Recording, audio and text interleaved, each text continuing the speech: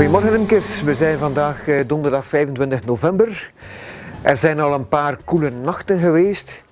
We mogen stilletjes aan beginnen denken over het druppelen van oxaal voor de restmijten te bestrijden. Wanneer is een volk eigenlijk klaar om te bedruppelen? Dat gaan we een keer testen. En we voelen. En het voelt koel, koud aan. En ik vermoed dus dat de tros zich nu stilletjes aan teruggetrokken heeft. We zullen eens kijken. Ja, hier zit de tros. Hij zit nog niet heel erg compact, daarvoor moeten de nachten nog kouder worden. 1, 2, 3, 4, 5, 6, 7. Ik tel 8 bezette straatjes, dat is een vrij sterk volk.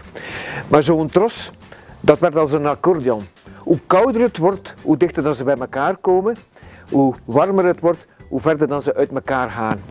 En ik vermoed dat zo rond de periode, de eerste week, tweede week van december, tot iets na nieuwjaar, laat ons zeggen ze van Sinterklaas tot uh, de drie koningen, dat dat de ideale periode zal zijn om te druppelen met oxaal.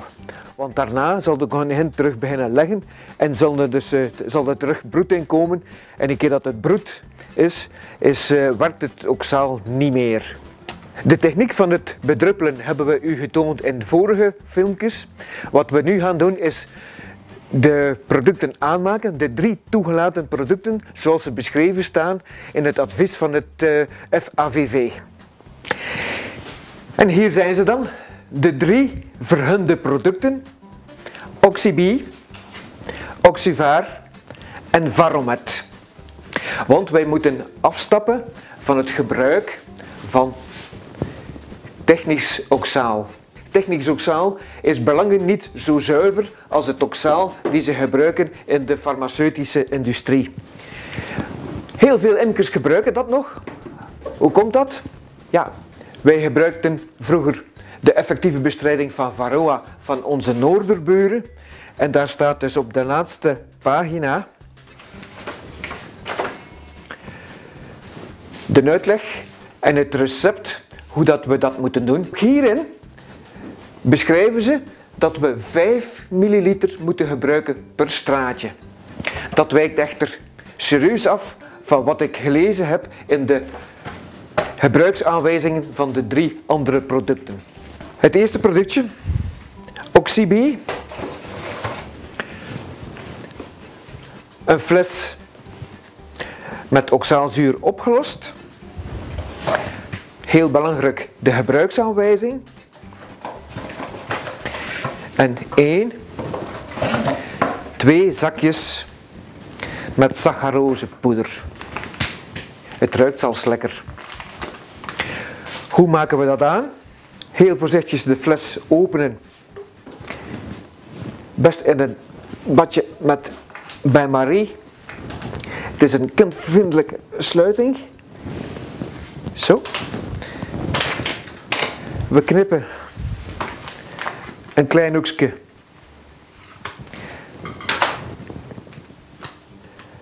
van het zakje met saccharose. En we gieten dat voorzichtig in het recipiënt. Zo. Tweede zakje. Het zijn zakjes van 125 gram. We sluiten onze fles. Toch mijn zuurbestendige handschoenen eventjes aandoen. En mijn bril opzetten. Goed dicht. Als de suiker volledig is opgelost, is ons product klaar voor gebruik. De aangemaakte vloeistof kan zowaar een jaar bewaard blijven in de frigo. En we kunnen dat netjes noteren op de verpakking. Het andere product is Varomet. Uh, imkers zullen dit wel herkennen. Het werd vroeger verkocht onder de andere naam, onder de naam Hive Clean. Uh, hierin zit naast oxaalzuur ook een heel klein beetje merenzuur. Wat zit in de verpakking? De bijsluiter. Een zeer handige fles met druppelaar. Het is dus een klaargemaakte vloeistof. Eén nadeeltje. Die keer dus dat je de fles opent, moet je binnen de 30 dagen gebruiken. En ons derde product, Oxyvar. Terug een recipiënt met de klassieke vloeistof in. We gaan eens openen.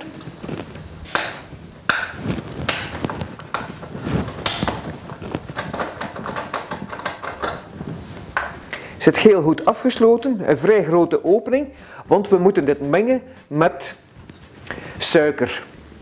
Bij deze verpakking zitten 275 gram oxalzuur in.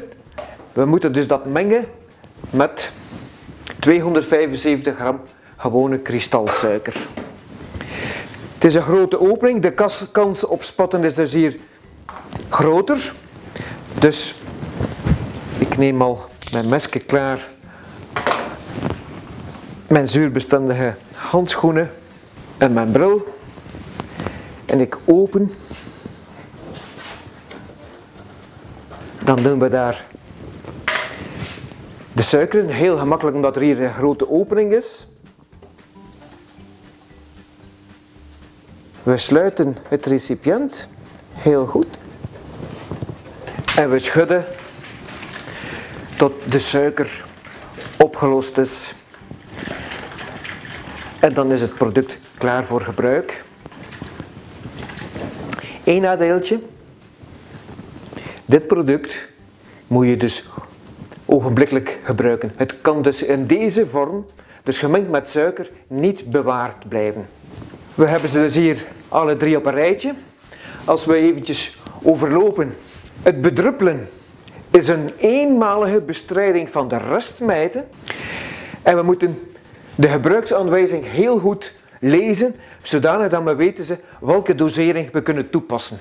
Bij Oxybi zegt de fabrikant 5 tot 6 milliliter per straatje met een maximum van 54 per kolonie. Dus grote volken die op twee broedbakken zitten en die dus meerdere straatjes bezetten, dan moet je dus het aantal milliliter per straatje aanpassen, zodanig dat je niet boven de 54 milliliter komt. Bewaard één jaar in de koelkast. Als we bedruppelen met oxyvaar, zegt de fabrikant, dat we dus 3 tot 4 milliliter mogen gebruiken bij straatjes bij de kleinere kastformaten, zoals Simplex, Duitse normaalmaat, Sander. Je mag 5 tot 6 milliliter gebruiken bij de hele grote uh, formaten zoals dat Ant. Maar met een maximum van 50 milliliter per kolonie. Nadeeltje van dit product. Na de bereiding kan het dus niet bewaard blijven. En als laatste de Varomet. Hier zegt de fabrikant bij kleine volkjes gebruiken we 15 milliliter. Middelmatige volken 15 tot 30 milliliter. Grote volken 30 tot 45. Ook met een maximum van 45 milliliter per kolonie. Iets langer houdbaar, na opening nog 30 dagen te gebruiken. Wat ik jammer vind van al deze producten, de hoeveelheden zijn bijzonder groot. Ik denk dan aan onze vele kleine imkers met 1, 2, 3, 4 kastjes. Jullie zullen moeten samenwerken, spreek af met elkaar, zodanig dus dat er dus geen producten verloren gaan.